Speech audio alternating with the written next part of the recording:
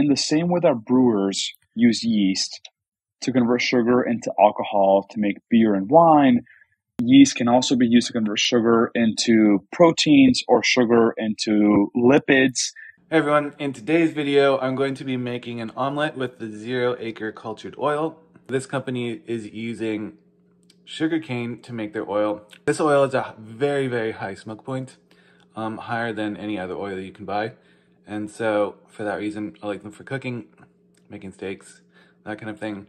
I don't know the science behind this, but they claim at least that their oil is healthier than other oils. You can do your own research on that one.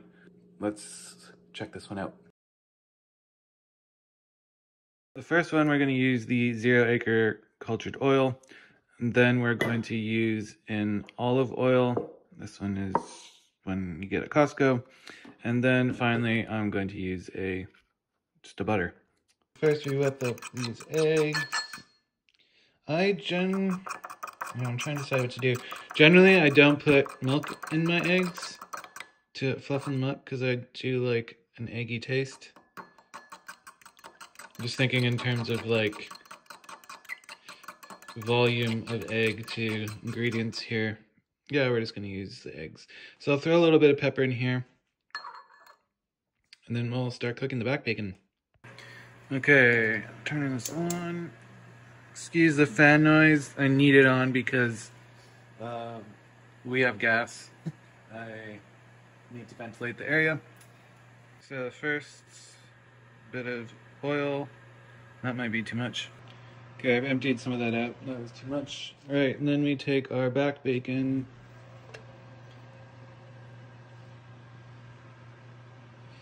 And we'll cook that up.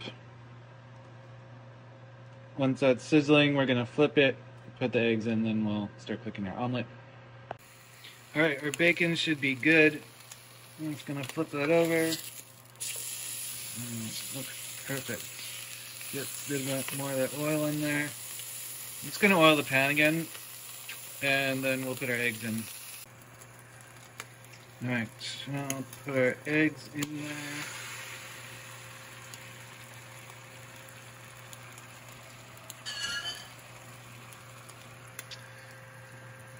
Throw some broccoli.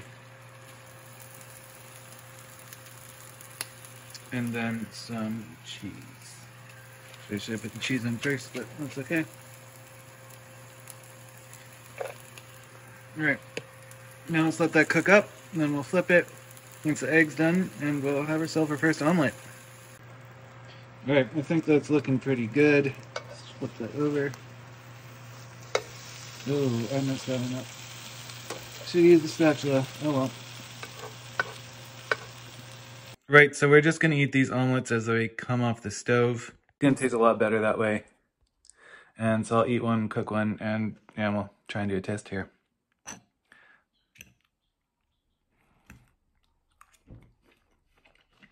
this is interesting. You know, I'm going to eat them all. I'm going to make them all, I'm going to eat them all, and then I'll give you my review.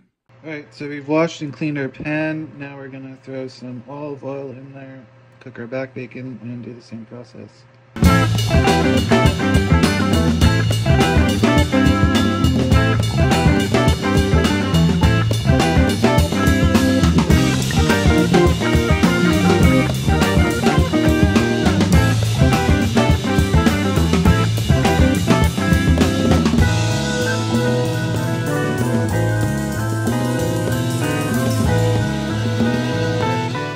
Much nicer omelet this time around. I'm going to have a taste here.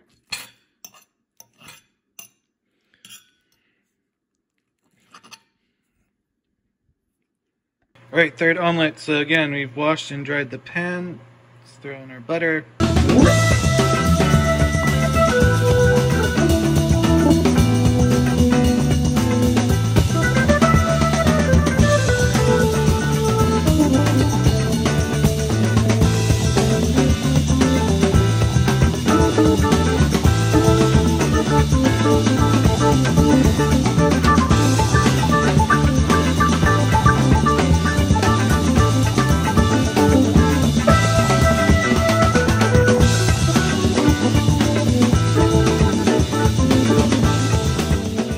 Final omelet. So we tried the three omelets with the three different oils. The first one was the zero acre cultured oil.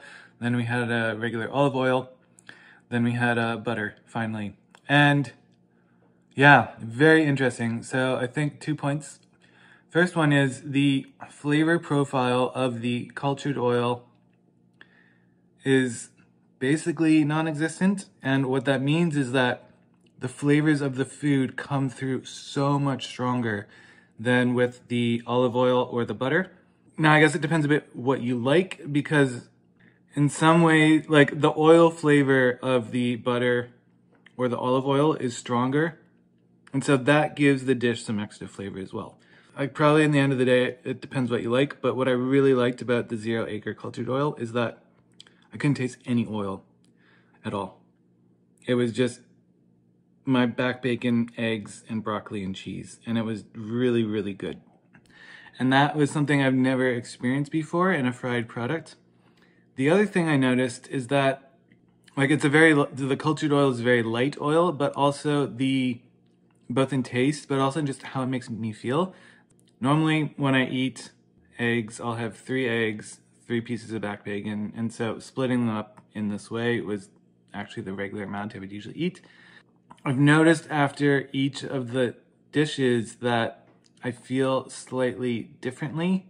And I think the, I'll have to do some more tests, but the cultured oil doesn't feel heavy.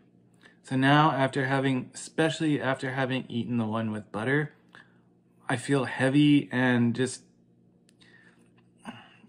like I'm full like normally, but I'm also slightly like I feel like I've eaten fried foods. And you know when you've eaten fried food, you feel slightly uncomfortable, just like uh I've eaten something slightly unhealthy. And I didn't get that feeling at all with the cultured oil. So that's really interesting. And that I wonder if that plays into some of their health marketing that they're doing. I want to try and look more into that. But yeah, those are my two thoughts.